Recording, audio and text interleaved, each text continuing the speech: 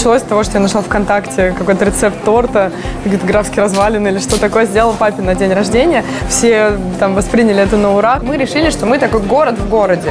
То есть ты открываешь двери нашего ресторана, и ты попадаешь уже куда-то в другое место. В место, где всегда тепло, уютно, где пахнет вкусной выпечкой, где аромат кофе витает. Как говорят, сначала ты ищешь путь, а потом путь находит тебя.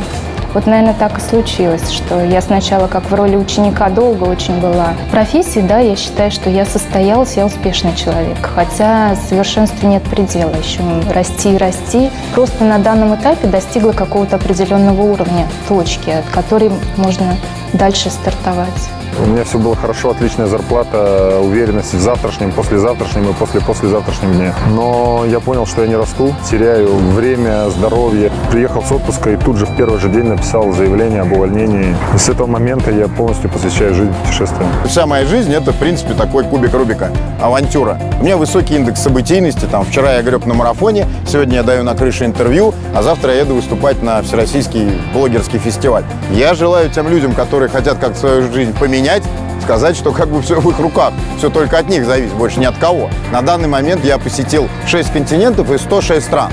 Естественно, часть денег я трачу своих каких-то, но я и получаю обратно те эмоции, ощущения, те приключения, которые ни за какие деньги вы не купите. В этом и есть интерес мой личный. Я не вижу смысла вообще останавливаться. Какой в этом смысл?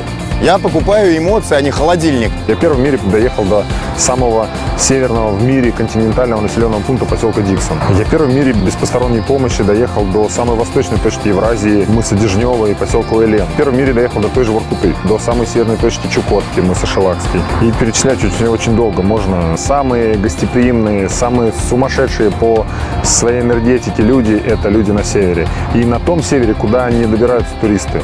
Я считаю, что писатели никому ничем не обязаны. Они пишут для себя и пишут то, что им интересно. Раньше писатели несли миссию, сейчас писатели несут радость. Один из главных критериев, чтобы не заскучал читатель. Потому что тогда твою книжку следующую уже никто не купит. У меня была большая мечта в детстве построить большой дом, вот, где будут жить кошечки и собачки. И вот я пришла к тому, что нужно создавать приют и спасать животных. Причины э, поступления в наш приют, они различны, но в большей степени это все от рук человека. Животные с разной судьбой, с разной историей. И есть хронические больные, которые не могут ходить, которым нужна помощь 24 на 7. Собачек около 300 и плюс еще около 50 кошечек. Наверное, надо делать то, что любишь. Не любить то, что делать, а именно делать то, что любишь. Мне, правда, нравится вот каждый день моей жизни, как я его провожу. Просто это счастье. Не знаю, больше никакого секрета нет.